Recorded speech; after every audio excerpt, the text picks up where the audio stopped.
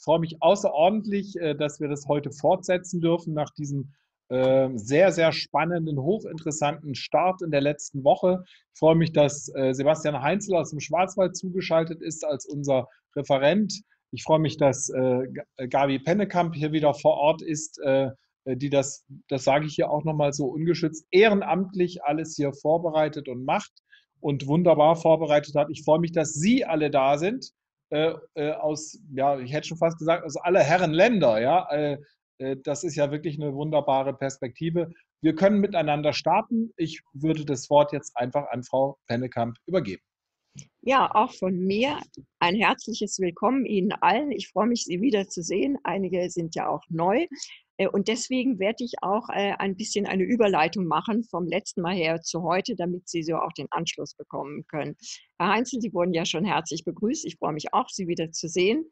Und äh, Sie sind ja Filmer und, also Dokumentarfilmer und Autor. Und ich würde gerne, bevor ich, ich mache jetzt erst die Anknüpfung und dann würde ich gerne persönlich noch ein paar Fragen an Sie stellen, damit wir Sie auch ein bisschen besser kennenlernen, vor allem die, die letztes Mal nicht dabei waren. Also wir haben ja am letzten äh, Vormittag äh, schon gehört von Ihnen, Herr Heinzel, dass Sie so etwa mit Mitte 20 äh, angefangen haben, über den Krieg zu träumen.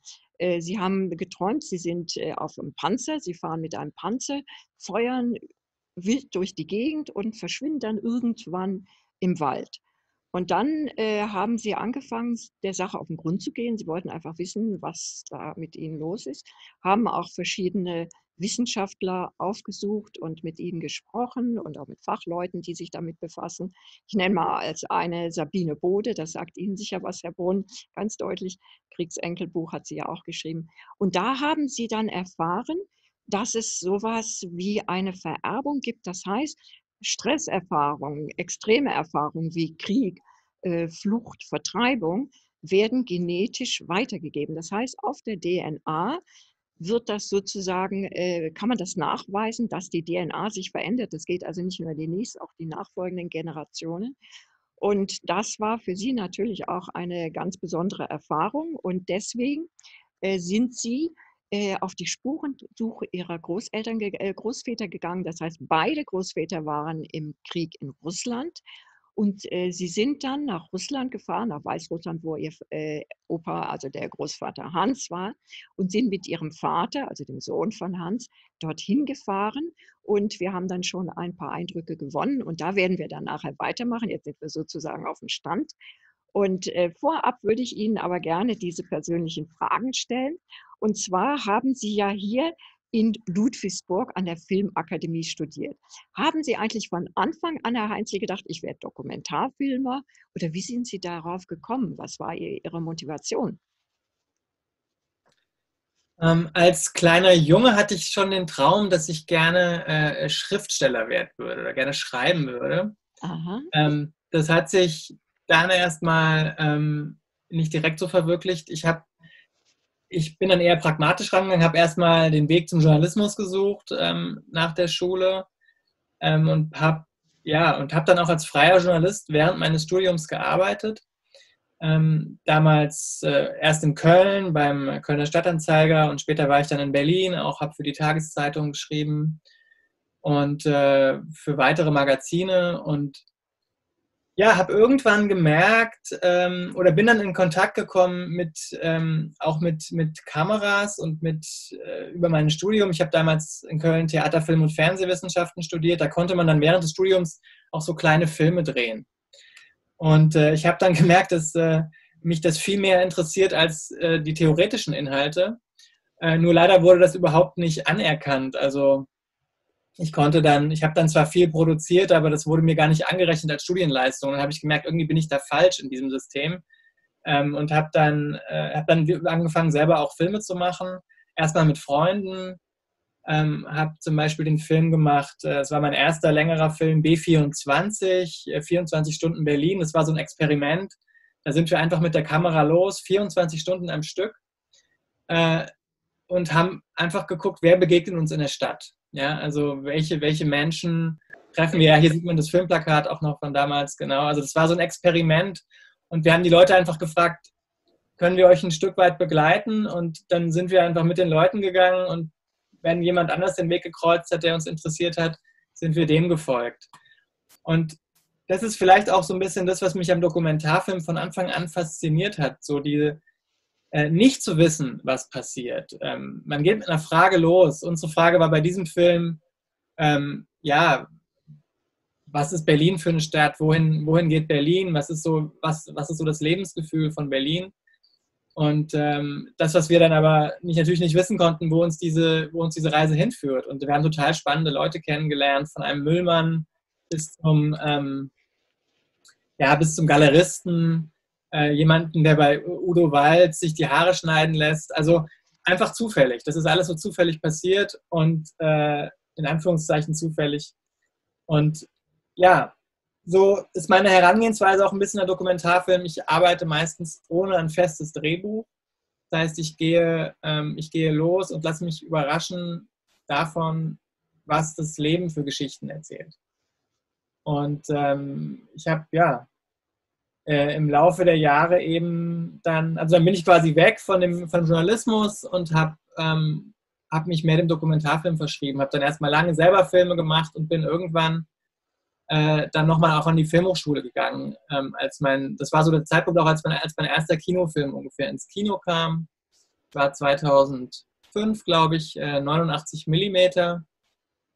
Mein erster Film, den ich dann auch in Weißrussland gedreht habe. Ähm, genau das war so mein, mein erstes Mal im Osten, in Osteuropa. Über, über den Kontakt in Berlin bin ich, äh, habe ich einen Weißrussen kennengelernt dort, der mit mir ein Praktikum gemeinsam gemacht hat. Und äh, wir waren damals mehrere junge Leute und kannten alle, wussten alle gar nichts über dieses Land. Und so hat es mich dann äh, mit ihm, sind wir dann nach Weißrussland gefahren für, für eine Woche erstmal. Und im Anschluss bin ich dann immer wieder hingefahren und habe dort junge Menschen begleitet, die in Weißrussland leben und war selber Mitte 20 und habe mich so gefragt, ja, wie geht es den Menschen meines Alters dort? Wie nehmen die die politische Situation wahr? Daraus ist der 89 mm geworden. Das war dann mein erster Kinofilm, der dann auch zu meiner Überraschung äh, selber dann erstmal so richtig ins Kino kam und ähm, äh, ja, und dann ähm, parallel wurde ich dann angenommen an der Filmhochschule in Ludwigsburg, erstmal nach vielen Absagen von anderen Filmhochschulen, ähm, wurde ich dann dort und auch in München genommen und dann ähm, kam ein Film ins Kino und alle haben gesagt, ja, bist du verrückt, jetzt wo dein erster Film im Kino läuft, jetzt gehst du nochmal an die Filmhochschule, aber ich habe das äh, kein einziges Mal bereut, weil ich dann dort die Gelegenheit hatte, auch viele Experimente zu machen und mich auszuprobieren, was auf dem freien Markt wahrscheinlich nicht so einfach gewesen wäre. Seit wann produzieren Sie eigentlich Dokumentarfilme denn für den Krieg im Meer? Da haben Sie ja sechs Jahre gearbeitet. Ich frage mich gerade bei allen Projekten, die wir jetzt gehört haben, Sie sind ja noch gar nicht so alt. ähm, ja, was, seit wann mache ich Filme? Also ich habe ähm, meinen allerersten Kurzfilm habe ich im Jahr 2000 gedreht.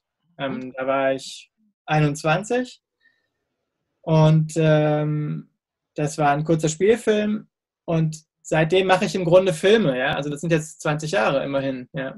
Und äh, ja, jetzt sieht man hier genau, das ist ein Film, den ich an der Filmhochschule gedreht habe in Ludwigsburg, bei, quasi bei Ihnen um die Ecke. Ein, da bin ich, da, da, war man, da fand ich es interessant. Es gab, ähm, es gibt so viele türkische Busfahrer in Ludwigsburg. Und ich habe mich gefragt, warum, warum gibt es so viele türkische Busfahrer? Und äh, dann äh, habe ich einen von denen angesprochen, habe den näher kennengelernt. Äh, das ist Deria. Und der hatte eine unglaubliche Lebensgeschichte. Ähm, würde man jetzt von Busfahrer erstmal gar nicht so erwarten. Politischer Aktivist, äh, Schauspieler, der sogar schon mal mit einem Film in Cannes war. Ähm, und ähm, über den habe ich dann auch ein kurzes Porträt gemacht. Ähm, ein Film, der während meines Studiums dort entstanden ist. Und ja, der wahrscheinlich auch im Kino bei Ihnen lief, wo Sie jetzt gerade sitzen. Wo, nee, im Moment, der lief im Caligari, Sie sind ja im Scala. Ja, wir sind im Scala hier, genau.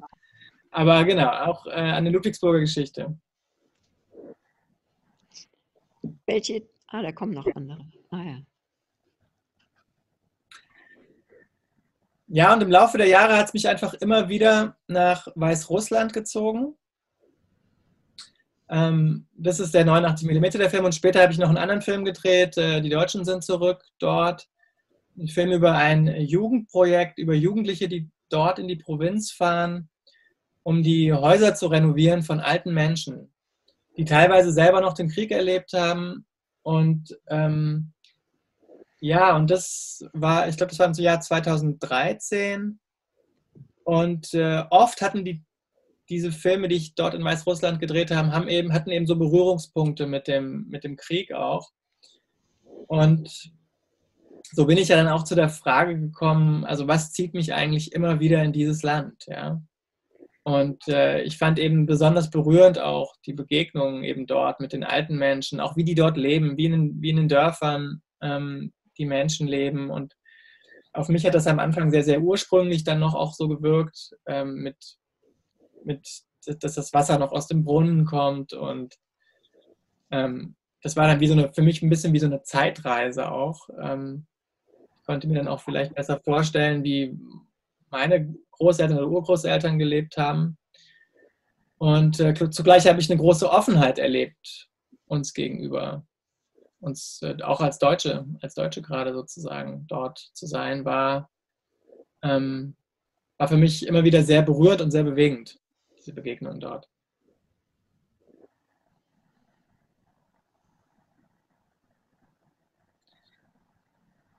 Genau, ist jetzt so ein bisschen wie eine Dia-Show gerade, merke ich. Also, äh, genau, das ist ein anderer Film, der spielt jetzt nicht in Weißrussland, Lost Paradise. Das ist ein Film, den ich ähm, in, in der Ukraine gedreht habe. Also, ist das Nachbarland dort, ähm, es basiert auf einer eigenen Kindheitserinnerung eigentlich von mir. Also Lost Paradise ist ja das verlorene Paradies und ich habe, ähm, als ich sieben Jahre alt war, war ich, ähm, ist die Katastrophe von Tschernobyl passiert und ich habe damals ähm, gerne, ich war da, ich, wir hatten einen schönen Garten zu Hause und ich habe gerne Gänseblümchen gegessen aus dem Garten. Und äh, dann hieß es, äh, meine Mutter hat dann gesagt, ja, jetzt darfst du keine Gänseblümchen mehr essen. Es ist eine Katastrophe passiert und ein Unfall und ähm, ja, irgendwie war das für mich so wie das, das Ende der Kindheit im Grunde. Also, oder jetzt so im Rückblick, äh, so ein bisschen so wie das Gefühl, ja, da ist irgendwie so ein Paradies verloren gegangen. Also etwas, was unwiederbringlich ist auf eine Art. Und dann habe ich mich sozusagen dann habe ich mich auf die Suche gemacht, jetzt dann 20 Jahre später, während meines Studiums war das auch, ähm, auf, nach Menschen aus meiner Generation, die diese Katastrophe dort erlebt haben damals. Und äh, bin dann an diesen Ort gereist, äh, auch, auch in die Stadt, wo, die, wo der Reaktor stand und habe mit einer jungen ähm, Ukrainerin gedreht, die in dieser Stadt gelebt hat. Und wir haben uns dann gemeinsam auf die Suche gemacht nach ihrer ehemaligen Wohnung, also dort, wo sie gelebt hat, also was heute eine Geisterstadt ist, Pripyat. Und ähm, haben die dann tatsächlich auch gefunden und daraus haben sich wiederum weitere Begegnungen entwickelt. Äh, auch ein sehr, sehr spannendes Projekt gewesen für mich. Ähm, die Auseinandersetzung eigentlich mit dem Thema Heimat. Also was ist Heimat und was, ja, wie, ähm, wie, wie, wie, wie begreife ich Heimat? In diesem, an diesem Ort war das wie so eine Art konservierte Heimat, ja. Also da hat ist die Zeit ja auch wie stehen geblieben, ja. Das, die Natur holt sich das zurück. Und ähm, das war für mich auch als Filmemacher faszinierend, so dann das, ähm, das zu begleiten, das zu sehen und auch mich selber da sozusagen ähm, diese Welt auch kennenzulernen. Was ich früher halt als Kind von weit, war weit entfernt, äh, diese Katastrophe, irgendwie hat es mich, hat's mich dahin gezogen, so diese, diesen Ort selber kennenzulernen und mit den Menschen zu sprechen, die das auch dort vor Ort erlebt haben. Ja, soll ich jetzt einfach weiter erzählen über die Filme? Ist es interessant für euch? Ähm, äh, Vielleicht können wir ein bisschen schneller die Titel sehen, oder war das schon der letzte?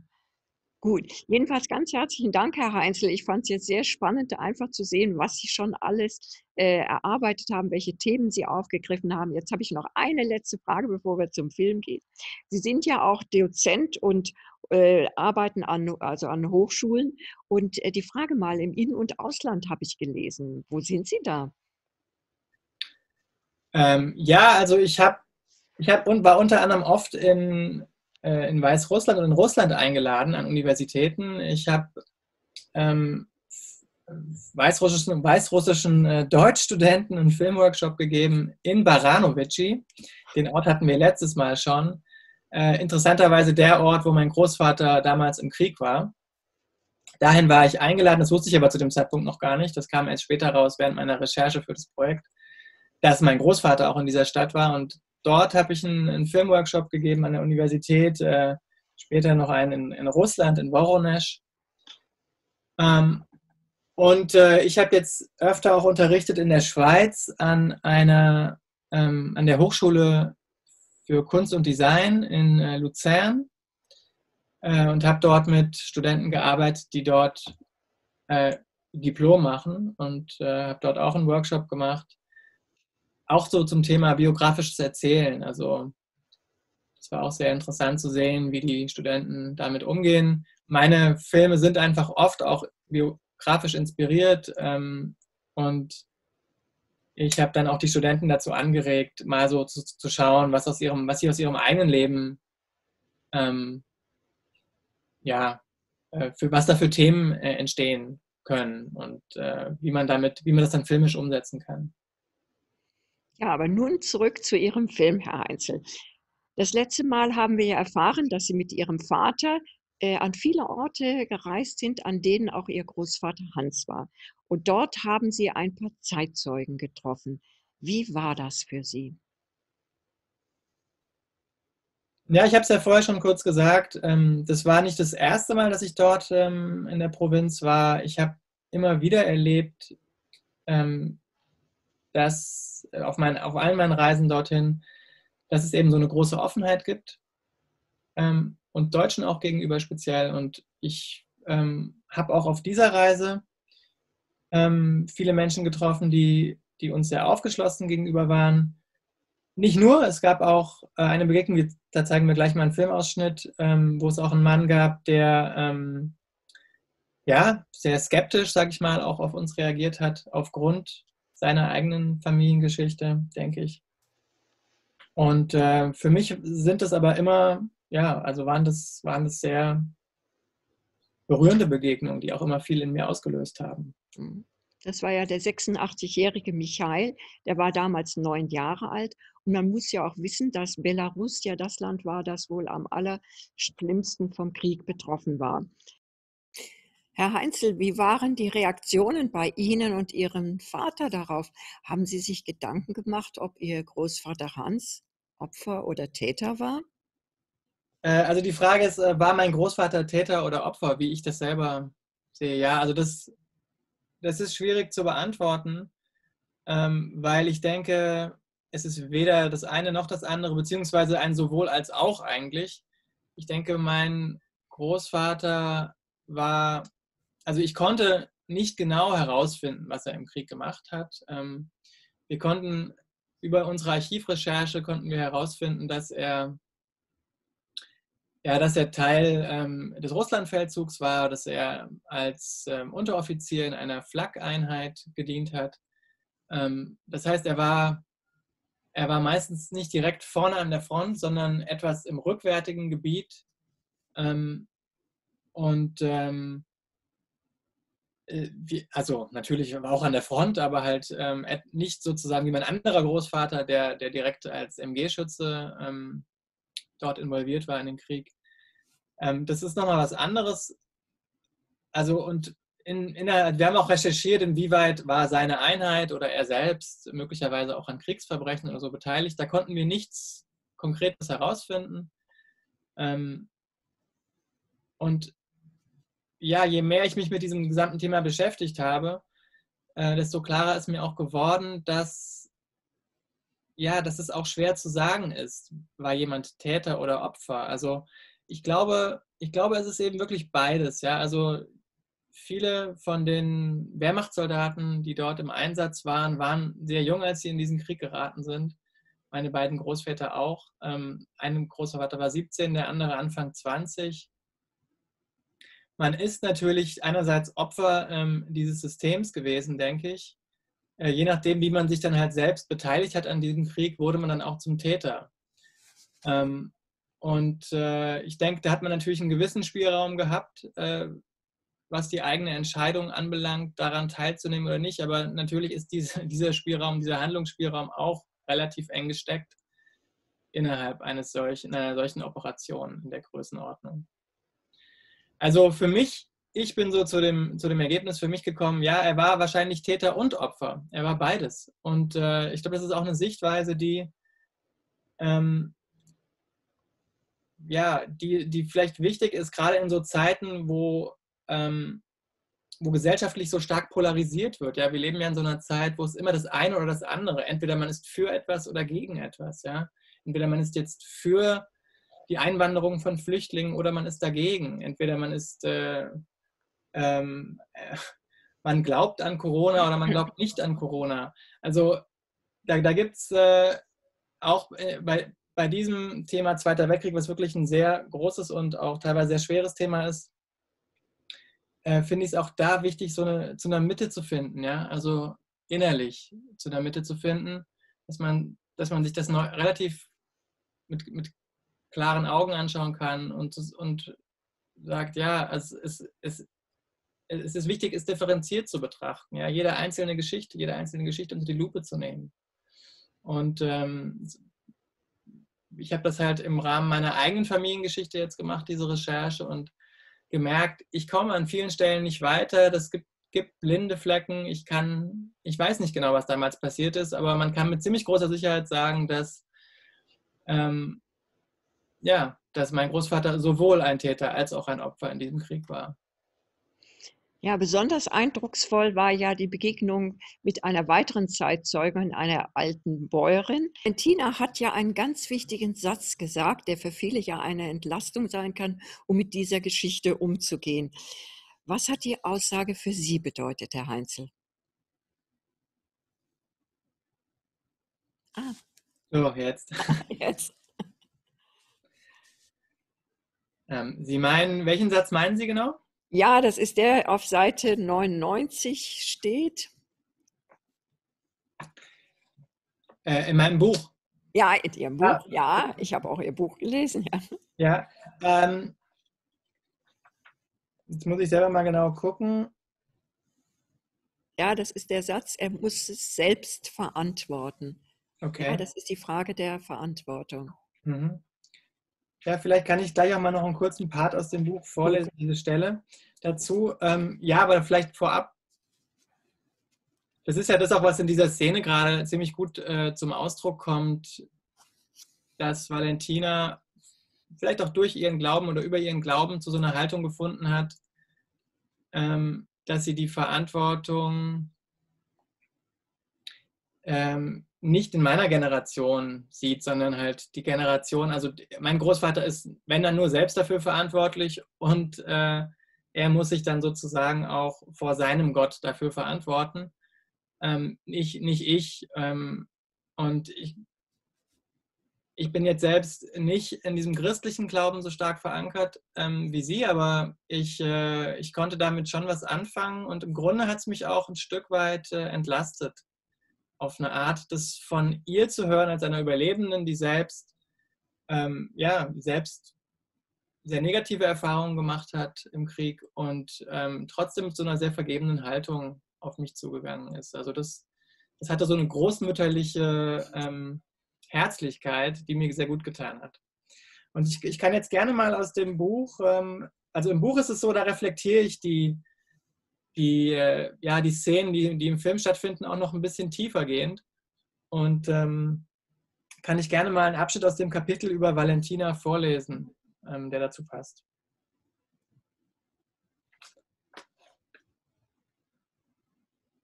Auch wenn ich weiß, äh, dass Valentinas Worte kein Beweis für die Unschuld meines Großvaters sind, erleichtert mich ihre vergebende Haltung. Es stellt eine Verbindung zwischen uns her, die etwas sehr Versöhnliches hat. Ich könnte ihr Enkel sein. Hast du schon eine Familie? fragt sie mich. Ja, antworte ich. Ich habe zwei Kinder, die fünf und acht Jahre alt sind.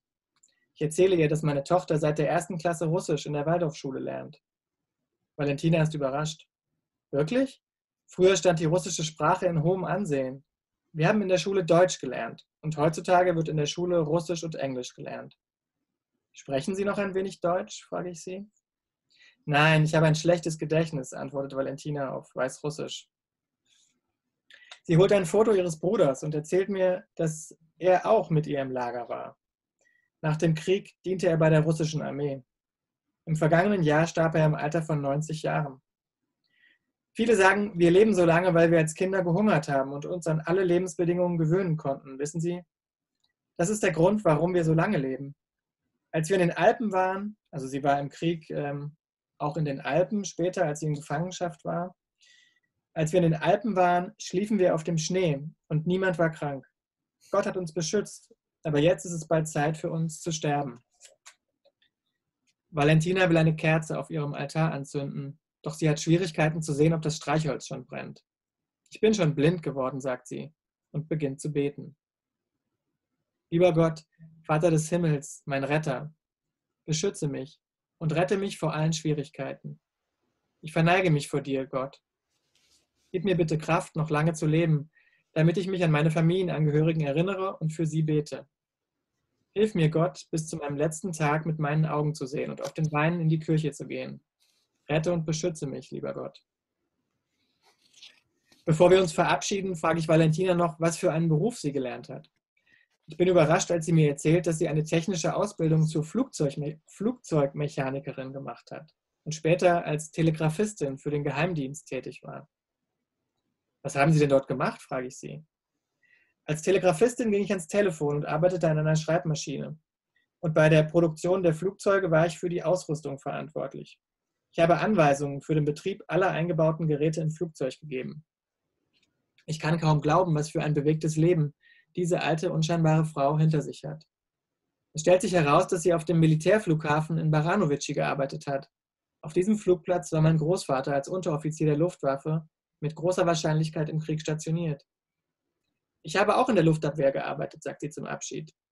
Lassen Sie Ihren Großvater friedlich schlafen. Wenn er etwas Schlechtes gemacht hat, muss er es schon verantworten, nicht wahr? Vor der Tür machen wir noch ein paar gemeinsame Fotos. Ich lege den Arm um Valentina. Sie schaut mich lachend an. Viele Goldzähne strahlen mir aus ihrem Mund entgegen. Ich habe eine Freundin in Baranovici gefunden, denke ich in diesem Moment. Vielen Dank. Ja, ich möchte an dieser Stelle ein bisschen auch Anwalt äh, der anderen Teilnehmer sein äh, und eine Frage von äh, Udo Grausam hier mit einbringen. Ähm, er fragt, ob Sie selber auch Wehrdienst ähm, geleistet haben, also sozusagen die heutige, äh, die heutige Bundeswehr kennen, das heutige Militärsystem äh, und ähm, äh, wie Sie das so im Vergleich sehen zu dem Militärsystem, in dem Ihr Großvater sozusagen agiert hat. Ja, so äh, verstehe ich den, den Herrn Grausam. Äh, ich frage es auch an dieser Stelle, weil wir ja gleich auch noch junge Soldaten sehen werden in der, in der nächsten Szene. Hm. Ich kann dann äh, nicht mit eigener Erfahrung dienen, ähm, da ich den Wehrdienst damals verweigert habe. Ähm, meiner Muster, also bei der Musterung und in dem Schreiben, was ich dann auch an die Behörde geschickt habe, habe ich auch ganz, ganz speziell auf die Geschichte meiner Großväter verwiesen und habe damals auch gesagt, ich will keine Waffe in die Hand nehmen. Und ähm, insofern, ja, kann ich jetzt natürlich nicht, ähm, kann ich das eigentlich gar nicht wirklich vergleichen. Ähm, sag mal, das System der Bundeswehr mit dem System der, der Wehrmacht äh, oder so. Da, da, fehlt mir wirklich, da fehlt mir wirklich die Innenansicht. Ähm, ich habe nur gemerkt, ich glaube, ich kann mich selber sehr schwer in ein solches System einfügen. Und ähm, mich hat es aber interessiert, dann auch während meines Filmprojekts, wie fühlt es sich an, Soldat zu sein? Und ähm, wie ist es zum Beispiel in so einer Uniform zu stecken? Ähm, was, was hat mein Großvater dort erlebt? Was hat er für Erfahrungen gemacht? Wie kann ich mir das vorstellen konkret? Das sind so Fragen, die ich hatte damals. Und, Dankeschön. Ja, in diesem Zusammenhang war für mich ja verblüffend diese Szenen im Freilichtmuseum Stalinlein, das von vielen Menschen, sogar von Familien mit Kindern besucht wird. Dort finden groß angelegte äh, Reinszenierungen von Schlachten des Ersten und Zweiten Weltkrieges, also des großen Vaterländischen Krieges statt. Können Sie uns das schildern und vielleicht ein bisschen auch äh, veranschaulichen, damit wir das besser verstehen können? Ähm, ja, also ich habe das, äh, habe diesen Kontakt bekommen über meinen Übersetzer, mit dem ich dort vor Ort gearbeitet habe. Also mein Russisch ist nicht, nicht ausreichend gewesen, um den Film zu drehen. Und dann habe ich einen Übersetzer dabei gehabt, der auch für uns mit organisiert hat und der kannte eben diese Starline-Line. Der hatte dort schon mal für die BBC gedreht. Und das ist ein, ja, ein Militärkomplex, ein, ein, ein historisches Museum, könnte man sagen, etwas außerhalb von Minsk gelegen. Und ähm, ich habe dann erstmal den Leiter kennengelernt von der Stalin Line. Äh, Sascha, ein junger Mann in meinem Alter, auch Familienvater. Und ja, und ich, ich war sehr abgeschreckt von dem, was dort passiert. Also man wird, da kommt da rein, wird erstmal begrüßt äh, mit einer Büste von Stalin. Ähm, sehr unvorstellbar. Also sowas, wenn man es jetzt überträgt äh, auf Deutschland, man, man hätte hier den Adolf Hitler Themenpark, ähm, wo dann auch äh, Inszenierungen stattfinden von Schlachten aus dem Zweiten Weltkrieg. Und äh, ja, deswegen war ich das erstmal sehr befremdet. Aber der Mann, der dieses, der dieses, äh, der das leitet, äh, der war mir sympathisch ähm, und mit dem bin ich gut in Kontakt gekommen und wir haben uns dann auch währenddessen viel darüber ausgetauscht, was sie da eigentlich machen und wie sie das, ähm, wie sie das angehen. Offensichtlich geht man in Weißrussland mit dem Krieg vollkommen anders um, als das bei uns zum Beispiel der Fall ist. Man, äh, dass so viele Kinder an den Vorführungen teilgenommen haben. Wie erging es Ihnen damit, Herr Heinzel? Ja, ich fand das völlig befremdlich. Äh, also allein schon, dass man sieht es ja auch in dem Ausschnitt, dass da die Eltern sich mit den Kindern fotografieren lassen mit Stahlhelm und Maschinengewehr. Also das war mir völlig fremd und ich, ähm, ja, äh, ich, das ist ja auch das letzte Gespräch, was ich mit, mit Sascha da, darüber habe. Da kommt es ja auch zum Ausdruck, dass wir da wirklich ganz äh, auf ganz unterschiedlichen, in ganz unterschiedlichen Welten leben. Ähm, er hat Kinder und er lässt sie da auch an diesen Inszenierungen teilnehmen. Die sind schon im jugendlichen Alter, muss dazu sagen. Meine Kinder sind jetzt noch etwas jünger. Aber ich hätte große Bedenken, irgendwie sie dem auszusetzen und auch solchen Vorführungen auszusetzen. Ja? Und aber ich glaube, um das zu verstehen, muss man auch ein bisschen begreifen, ähm, wie die Erinnerungskultur in Weißrussland äh, funktioniert und wie sie bei uns ist, das findet ja unter komplett unterschiedlichen Vorzeichen statt. Also in Weißrussland und ich denke auch in Russland ist es ähnlich, ähm, steht ja im Vordergrund die, der Siegesmythos, die Erzählung des Sieges sozusagen. Also ähm, die, da ist die Geschichte von den Gewinnern geschrieben und jedes Jahr wird auf neue Weise ähm, am 9. Mai an die, ja, an den Sieg erinnert. Und äh, das, ist, das ist natürlich auf eine Art ist das Propaganda und das, was da passiert in der Stalin-Line, ist, ähm, ist eine große Propagandaveranstaltung auch. Also die, ähm, äh, ja, man müsste sich das vorstellen. Also ne, die, die Zuschauer jubeln dann halt auch dem, dem Gewinnern dann am Ende zu. Ähm, das ist für mich als Deutscher ähm, völlig fremd. Bei uns steht die Auseinandersetzung mit der Geschichte immer unter dem Vorzeichen Schuld. Also es ist, äh, es ist sozusagen gar nicht, ja, es ist gar nicht möglich, ähm, dass wir uns auf so eine Weise damit auseinandersetzen, was auch gut so ist, weil ich will auch nicht auf die Siegesseite wechseln.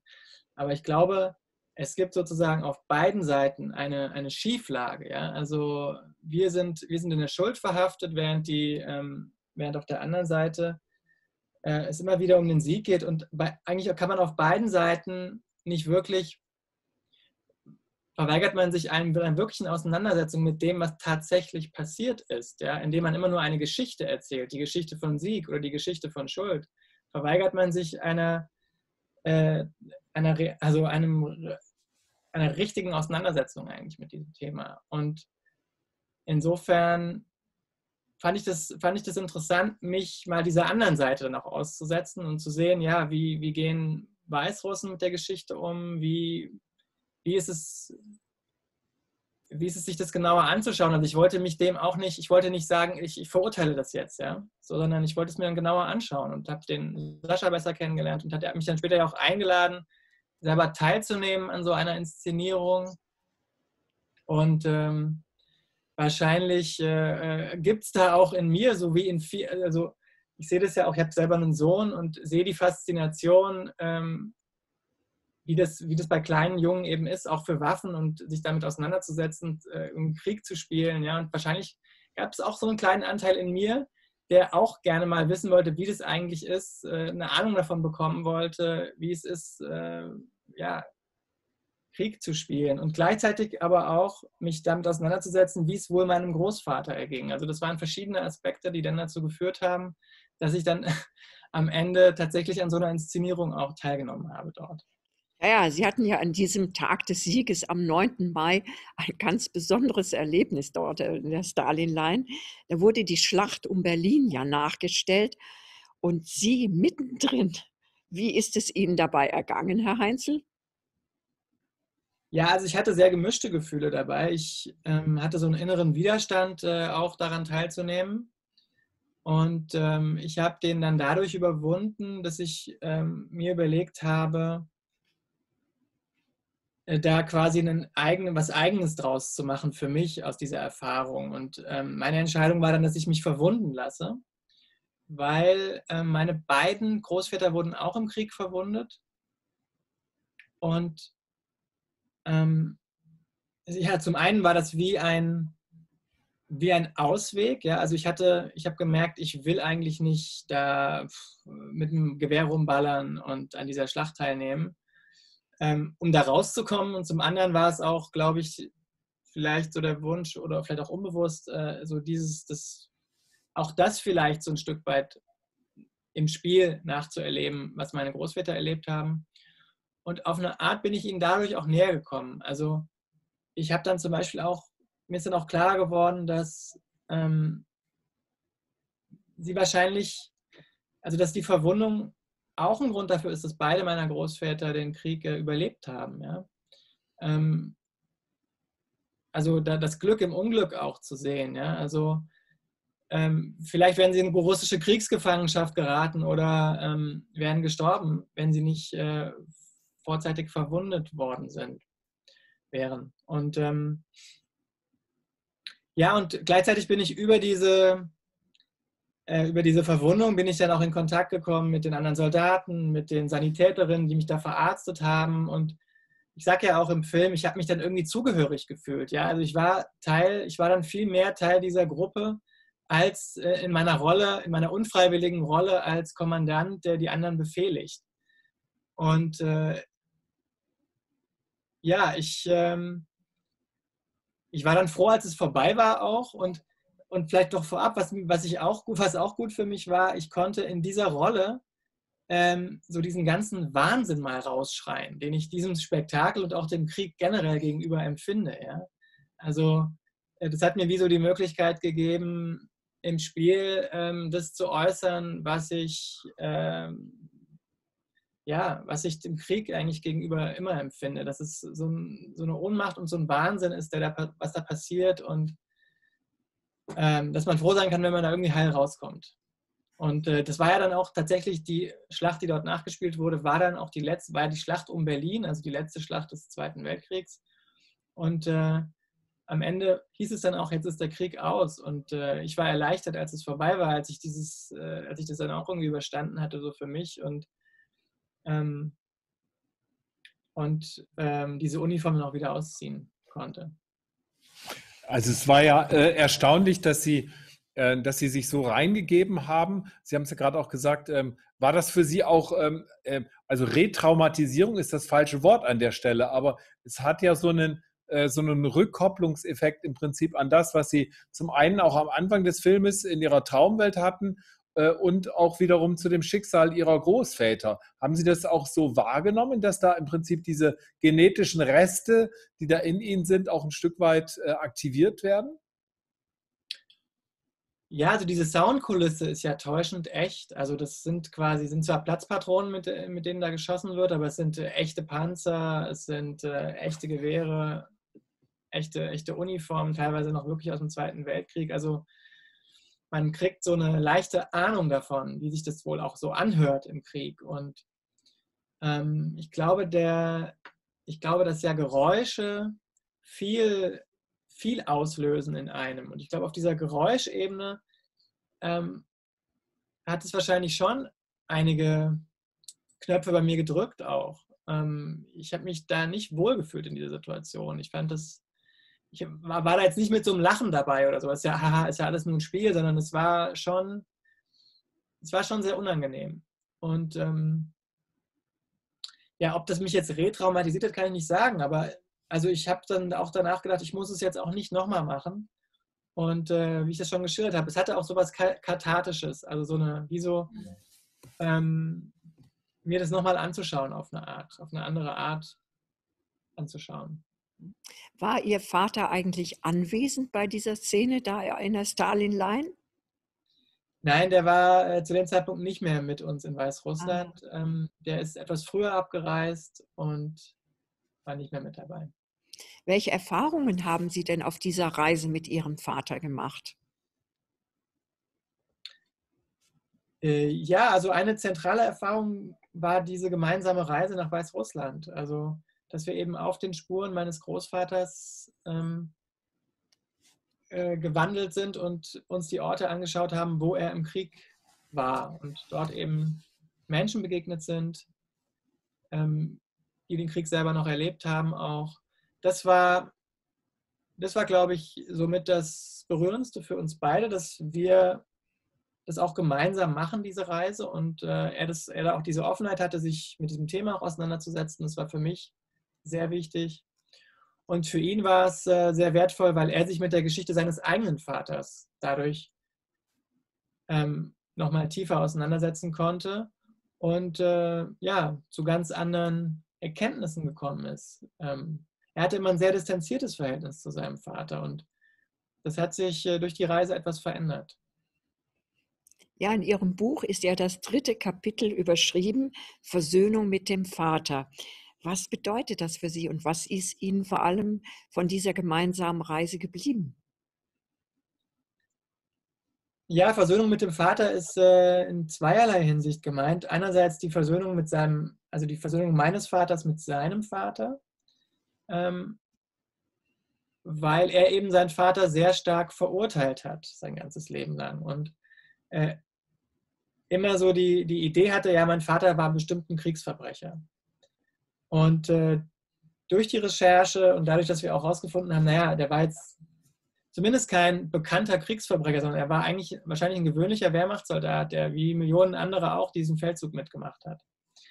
Ähm, hat ihn das, glaube ich, ein Stück weit entlastet, dass sich, das, dass sich diese Vermutung, die er sein ganzes Leben lang hatte, nicht so gezeigt hat. Das war das eine. Und das andere war, dass er sich ein Stück weit distanzieren konnte, auch selber Schuld ähm, zu tragen für seinen Vater. Dadurch. Ja? Also ähm, da hat er ganz klar gesagt, aber dass er für sich zu, zu, diesem, zu dieser Erkenntnis gekommen, nein, äh, ich brauche diese Schuld nicht länger zu tragen. Und ähm, ja, und für mich war das gleichzeitig ähm, war diese gemeinsame Auseinandersetzung mit meinem Vater ähm, eine Annäherung an ihn. Ja? Also ich bin meinem Vater dadurch näher gekommen. Ich habe mehr über ihn verstanden, über sein Verhältnis äh, zu seinem Vater, wie mich das geprägt hat. Und das hat uns näher gebracht. Und äh, insofern war es äh, ein doppelter Gewinn. Hat die Arbeit an diesem Film Sie weitergebracht, Herr Heinzel? Und Ihre Kriegsträume, haben Sie die immer noch oder können Sie jetzt anders damit umgehen, falls Sie sie noch haben? Ja, also ich träume, träume immer noch vom Krieg. Das hat sich ähm, nicht, ganz, nicht ganz in Luft aufgelöst. Allerdings habe ich das Gefühl, es ist seltener geworden, seitdem ich mich bewusster damit auseinandersetze. Und ähm, ich habe, äh, das schildere ich auch im Buch noch ausführlicher, ich habe mich auch ähm, damit auseinandergesetzt, mit, mit dem Träumen auch, also nochmal intensiver auch, wie man mit den eigenen Träumen auch arbeiten kann. Und da gibt es eine ganz spannende Methode, die die Verena Kast äh, entwickelt hat, mit der ich auch daran gearbeitet habe, ist eine Tiefenpsychologin und Autorin aus der Schweiz. Ähm, und äh, das, das ist sehr hilfreich, die eigenen Träume im Grunde weiterzudenken. Und ähm, äh, das, das ist so das eine. Und natürlich hat es, also persönlich hat mich das sehr weitergebracht, dieses Projekt. Ich habe ich hab sechs Jahre meines Lebens jetzt damit verbracht. In diesen sechs Jahren ist unheimlich viel passiert. Ähm, ich sag mal, ein Bruchteil davon ist in dem Film zu sehen. Ähm, äh, das ist so die Spitze des Eisbergs, würde ich mal sagen das, was darunter, vieles, was darunter liegt. Ich habe versucht, vieles noch im Buch auch zu beschreiben, was ich dieser, was ich dem Film, was im Film vielleicht nicht zu zeigen war. Ähm, und äh, habe auch versucht, das, was ich an Erkenntnissen gewonnen habe, irgendwie damit, also das war von Anfang an auch mein Impuls, das weitergeben zu wollen. Ja? Also ich bin, ich bin im Grunde, sehe ich mich als Stellvertreter für, für eine Generation oder für, nicht nur für eine Generation im Grunde, für alle Menschen, die sich auf, auf eigene Weise damit beschäftigen möchten, wollen und was Positives auch daraus gewinnen können. Und was zum Beispiel für mich ein großer Gewinn ist, ist, ist das, was wir jetzt hier gerade machen. Ja? Also, dass, dass ich über meine Geschichte erzählen kann, dass, dass es andere Menschen gibt, die das interessiert, die daran anknüpfen können, die ähm, sich auch davon berührt fühlen. Ich kriege ganz viele Zuschriften, ähm, seitdem das Buch veröffentlicht ist und seitdem der Film ähm, auf den Markt gekommen ist. Ist einfach, äh, ist da so eine, so ein viel, kriege ich viel Resonanz einfach. Und ich spüre, dass dieses Thema einfach sehr präsent ist in Deutschland, aber ich denke, es ist im Grunde auch, wäre es auch wichtig, dass auch die anderen europäischen Länder sich das noch stärker anschauen. Ähm, weil es uns alle irgendwie betrifft und weil es sehr heilsam ist, sich damit auseinanderzusetzen. Also gerade diese Begegnungen, die ich in Weißrussland hatte und habe, das sind, ähm, das ist wie ein Brückenschlag für mich. Ja? Also ich habe das Gefühl, dass durch das Aufeinanderzugehen äh, zwischen den Generationen, aber auch zwischen den Nationen, also ähm, dass das viel bewirkt und dass da tatsächlich äh, Kommunikation, Kontakt herrscht, äh, stattfindet, der man hat ja manchmal das Gefühl, auf der politischen Ebene ist das gar nicht gewollt, dass wir uns gut miteinander verstehen, ähm, Deutschland und Russland. Aber ich habe das Gefühl, dass, dass das ähm, eine sehr wertvolle und wichtige Verbindung ist, die wir gerade durch die gemeinsame Geschichte haben. Und ja, deswegen kann ich jedem nur empfehlen, selber auch mal dort in diese Länder zu reisen, wenn man, speziell wenn man dort auch Familiengeschichte hat, in irgendeiner Weise. In Ihrem Buch, finde ich, im Epilog, haben Sie das so wunderbar zusammengefasst. Vielleicht können Sie das noch äh, ein bisschen vorlesen aus dem Epilog. Gut, dann äh, lese ich zum Abschluss nochmal was vor. Hm.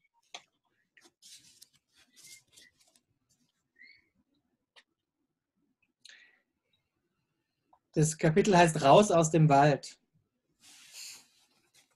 Ich habe Opa Hans im Traum getroffen. Wir haben uns ganz förmlich die Hand gegeben. Ich wollte wissen, ob ihm mein Film gefällt. Er war sehr reserviert und zurückhaltend. Ich hatte das Gefühl, dass ich ihn nicht erreichen kann. Ein Auszug aus meinem Traumtagebuch. Steht so dem Kapitel voran. Es gibt zwei Großväter, die beide eine unterschiedliche Rolle in meinem Leben spielten. Ich habe mich entschieden, mit meinem Vater nach den Spuren seines Vaters zu suchen. Bei meinem Gespräch mit Verena Kast ist mir jedoch deutlich bewusst geworden, dass mich meine Beziehung zu Opa Fritz emotional viel stärker geprägt hat. Bei ihm bin ich aufgewachsen. Zu ihm habe ich ein fast schon väterliches Verhältnis gehabt. Bin ich womöglich den falschen Spuren gefolgt? Fällt es mir deshalb so schwer loszulassen?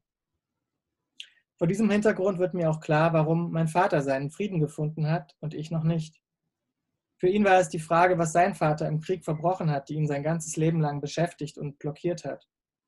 Die Erkenntnis, dass er nicht für die Taten seines Vaters verantwortlich ist, hat ihn schließlich entlastet und von einem Schuldgefühl befreit, das er lange Zeit mit sich, mit sich herumgetragen hat. Unsere gemeinsame Reise nach Weißrussland war der Katalysator für seinen Prozess. Wenn ich den Worten der Tiefenpsychologin Glauben schenken darf, habe ich mich unbewusst mit den Gefühlen meines Großvaters mütterlicherseits identifiziert. Heimatlosigkeit, Schuld, Verlorenheit, all das, was er aus dem Krieg mit nach Hause brachte und wofür es in der Nachkriegszeit weder Zeit noch Raum gab, es zu verarbeiten. Ich mache meinem Großvater keinen Vorwurf daraus. Fritz hat eine Familie gegründet und trotz seiner Verwundung sein ganzes Leben lang hart gearbeitet, um seine vier Kinder durchs Leben zu bringen. Und vielleicht ist es, ist es kein Wunder, dass er gerade mit mir, seinem Enkel, so viel Aufmerksamkeit entgegengebracht hat. Weil ich ihm als kleines Kind eine Nähe gegeben habe, die er an anderer Stelle vielleicht nicht bekommen konnte. Eine ähnliche Beziehung hatte ich später zu meiner Großmutter, die in Trauer und Depression versunken ist, nachdem mein Großvater so früh verstorben ist. Als Kind habe ich die Not meiner Eltern gespürt. Insofern bin ich wohl nicht parentifiziert, sondern opafiziert. Was mache ich nun mit dieser Erkenntnis? Ich merke, dass ich endlich einen Abschluss finden will in der Auseinandersetzung mit der Vergangenheit. Aber geht das überhaupt? Kann ich nun einfach einen Schlussstrich ziehen? Ich denke an die Worte von Diana im Gorki Park in Minsk, die zu mir gesagt hat, dass es nicht darum geht, zu bewerten, ob das Verhalten meiner Großväter richtig oder falsch war, sondern dass es darum geht, zu hoffen, dass sie stolz auf mich sind. Was passiert, wenn ich mich darauf besinne, was ich an Qualitäten und Ressourcen von meinen Großvätern mitbekommen habe? Wenn ich darüber nachdenke, fällt mir einiges ein. Die liebevolle Art von Opa Fritz, sein geselliges Wesen und sein bedingungsloser Optimismus. Der Humor von Opa Hans, seine Verschmitztheit und sein Unternehmergeist. Der Fleiß meiner beiden Großväter und die Kraft, die sie aufgebracht haben, um Häuser zu bauen, Familien zu gründen und Kinder in die Welt zu setzen, trotz ihrer Traumata. Meine Opas waren keine Helden im Dritten Reich. Sie waren Opfer wie Täter, Mitläufer und gleichzeitig Gefangene eines unmenschlichen Systems. Sie waren geprägt von dieser Zeit und sie haben es geschafft, den Zweiten Weltkrieg zu überleben. Ohne sie würde es mich heute nicht geben. Ich erkenne das an, in all seiner Widersprüchlichkeit. Und ich spüre deutlich, dass es Zeit wird, den Blick nach vorne zu richten, in die Gegenwart, in mein Leben und auf meine Kinder. Sie brauchen mich jetzt mehr als je zuvor, als einen gut gelaunten und präsenten Vater, als jemanden, der ihnen zeigt, wie das Leben Freude macht, wie man gut für sich selbst sorgt und die eigenen Träume verwirklicht. Vielen Dank, Herr Heinzel. Ich übergebe jetzt an Jörg Mayhoff. Er hat die ganze Zeit den Chat beobachtet und jetzt. Ja, herzlichen Dank. Ich denke, das hat nochmal ähm, tatsächlich auch ähm, auf den Punkt gebracht, ähm, dass es sozusagen letztlich nicht um, um permanente Nostalgisierung geht, sondern um, äh, um, um das, wie, wie können wir unser Leben äh, heilbringend und heilsam und versöhnt gestalten. Äh, diese Frage war auch im Chat äh, immer schon mal wieder da. Ähm, äh, der es ging um den Sascha vor allen Dingen, diesen weißrussischen Vater, der sie da in dem Stalinpark äh, begleitet hat, wenn ich das richtig verstanden habe. Und ähm, da fragt äh, Udo Grausam, äh, würde Sascha, der weißrussische Vater, zulassen, dass seine Kinder in Weißrussland Wehrdienst leisten? Also die Frage, ähm, ja, wie, wie ist denn seine elterliche äh, Verantwortung da äh, ausgeprägt? Ja?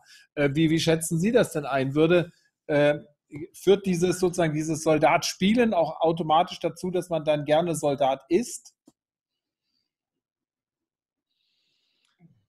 Also ich bin mir sicher, dass ähm, Sascha nichts dagegen hätte, dass seine Kinder Wehrdienst leisten. Seine Söhne in dem Fall. Ich weiß nicht, ob das bei Frauen dort auch möglich ist. Wäre wahrscheinlich schon. Also auf jeden Fall glaube ich, dass er das, dass er das ähm, das, weil das er selber auch, er ist selber auch Soldat, also er war auch als Offizier ähm, in der weißrussischen Armee, hat er auch ähm, eine Ausbildung gemacht und äh, dort auch gedient eine Weile. Also insofern, äh, ja, lebt er in einer ganz anderen Welt, auch in einer Welt, die sehr militarisiert ist, ja, und die auch die Kinder schon darauf vorbereitet, ähm, daran teilzunehmen. Mhm. Auf der anderen Seite, äh, Franz Rohling hat dann dagegen gestellt, ähm, man kann diese Dinge nicht äh, sozusagen verschweigen, auch die Gräuel, die damit zusammenhängen. Und er, er ist so seinen eigenen Weg gegangen, äh, hat äh, offensichtlich mit einem Schamanen dann zu tun gehabt. Und der hat ihn ganz ähnlich, wie Sie das ja auch gemacht haben, quasi äh, hat ihm empfohlen, das nochmal wieder oder das Militärische nochmal wieder zu reaktivieren. Also er, der, er musste den Stechschritt üben und hat sozusagen über dieses auch wieder erleben sozusagen einen, einen Schritt persönlicher Heilung auch erfahren. Ja, also äh, finde ich auch einen spannenden Aspekt nochmal. Ja, also äh, ich weiß nicht, ob, äh, ob wir jetzt auch so den äh, insgesamt jetzt wieder die, die, die Stimmen zuschalten. Äh, und äh, ich weiß nicht, ob Franz vielleicht auch selber noch was dazu sagen möchte. Also diesen Aspekt der Heilung im Wiedererleben oder im, im ja, sich nochmal wieder hineinbegeben, spielte eine wichtige Rolle. Ja. Und ähm, äh, Udo Grausam schreibt später noch, ich fände es gut, wenn Herr Heinzel die Schuld und die Mitschuld seiner Großväter als Soldaten im Zweiten Weltkrieg in Weißrussland heute eingestehen würde. Ja, das könnte aus der Erkenntnis der historischen Fakten kommen. Äh, das kommt im Interview leider nicht so gut rüber. Also äh, ja, ist nochmal so die Frage, müssen wir die Schuld, Mitschuld der, der, der Großväter äh, nochmal stärker betonen? Äh, ja, ich gebe es einfach jetzt mal so weiter. Ja, also vielleicht gleich zu der letzten Frage. Ähm, ich glaube, dass ähm, ich, das, ich, ich leugne nicht die Schuld meiner Großväter. Ich habe ich hab ja ganz klar gesagt, das habe ich auch gerade nochmal in dem Abschnitt, den ich gerade gelesen habe, gesagt, dass ähm, meine Großväter Opfer und Täter waren in diesem Krieg. Ähm, ich denke, dass sie durch die Teilnahme an diesem Krieg äh, auch Schuld auf sich geladen haben. Ähm, das ist, äh, das ist, glaube ich, unvermeidbar sogar, wenn man an so einem Krieg teilnimmt. Ähm, insofern ähm, erweitere ich eigentlich nur den Blickwinkel darum zu sagen, sie sind nicht nur Täter, sie sind auch Täter, aber sie sind auch Opfer. Ähm, Täter und Opfer. Das beides, ja. Und Heike Roman hat dann nochmal ähm, äh, betont, es geht in Deutschland immer um Schuld, also diese äh, offensichtlich Konzentration auf die Schuldfrage.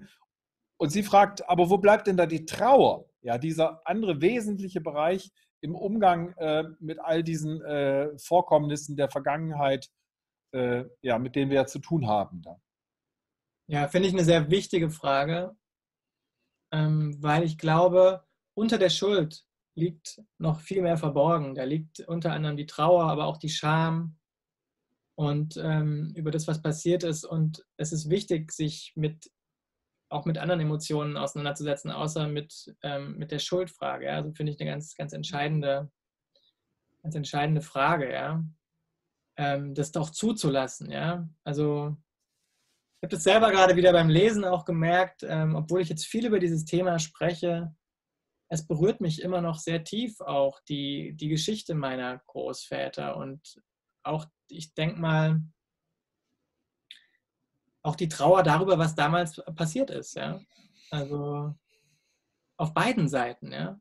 Also da geht es nicht, nicht darum, eine Seite zu nehmen, sondern es geht darum zu, zu spüren, was ist gewesen, das zu würdigen, was da, was, was da passiert ist. Ähm, auch in der eigenen Familiengeschichte. Ja? Also die, ähm, die, die Generationen vor uns, die, äh, die, die konnten oft noch gar nicht richtig darüber sprechen, weil sie selber noch zu verhaftet damit waren oder weil der Schmerz auch vielleicht überhaupt zu groß war, um darüber sprechen zu können. Und so ist es vielleicht auch an uns, da ähm, das, was noch, noch vielleicht da ist, ähm, aus, zum Ausdruck zu bringen, ja? an, an unerledigten Themen aus dieser Zeit. Ja. An dieser Stelle ein herzliches Dankeschön an Sebastian Heinzel, der uns das so wunderbar hier äh, äh vermittelt, äh, auch lebensgeschichtlich so stark verankert so glaubhaft vor allen Dingen, so authentisch. Ein herzliches Dankeschön auch an äh, Gabriele Pennekamp, die das Thema hier wirklich so aus eigener Initiative, aus eigener Betroffenheit auch heraus äh, mit eingebracht hat, wunderbar vorbereitet hat. Ich möchte Ihnen allen ganz herzlich danken an dieser Stelle, dass Sie dabei waren. Ich fand auch, es kommen viele äh, Zustimmungen, dass es ein wunderbares oder wunderbar ist das falsche Wort, aber dass es einfach ein richtig gutes Webinar war. Ich möchte danken unserer Technik, dem Raimund, die sehen Sie Manuel. nicht, unsere, und der Manuel, die unsere Chat- und Zoom-Operator, die das hier mitmachen und ähm, ja, und auch Scala TV, dass es hier möglich ist. Ich wünsche oder wir wünschen Ihnen allen, äh, dass Sie da Ihren guten Weg finden mit dem Thema und äh, dass es weitergeht. Ich bin überzeugt davon, dass es eine lebensfördernde Maßnahme ist, wenn ich das mal so formulieren darf, dass es hilft, dass Heilung und Versöhnung nicht nur möglich ist, äh, sondern eben tatsächlich auch äh, geschieht. Ja, auch in solchen Webinaren wie dem, was wir jetzt hier erlebt haben. Äh, Ihnen wünschen wir einen guten Tag noch, alles Gute auf dem weiteren Weg nach Schottland, nach Polen, nach Hamburg, München. Nach München. Also es war Tübingen. wirklich für uns eine, auch eine ganz faszinierende Erfahrung, das zu erleben. Alles, alles Gute Ihnen, einen guten Tag noch und gell, einen guten Tag und adieu, auf Wiedersehen. Ja, auch von mir ganz herzlichen Dank und alles Gute für Sie, besonders an Sie, Herr Heinzel. Danke. Ja, vielen Dank auch von mir noch zum, zum Abschluss. Erstmal für die Einladung an, äh, zu diesem Webinar. Das war auch meine Premiere sozusagen. Und äh, dass sich so viele zugeschaltet haben und dass es technisch alles so wunderbar geklappt hat. Vielen Dank. Und ähm, genau, ich tippe gleich nochmal die, ähm, die URL von unserer Homepage auch unten in den Chat. Ähm, wer sich für das Buch oder für den Film interessiert, ähm, ist herzlich willkommen. Ich verschicke auch gerne signierte Exemplare. Schön. Dankeschön. Vielen Dank. Dank euch. Also, tschüss. Tschüss.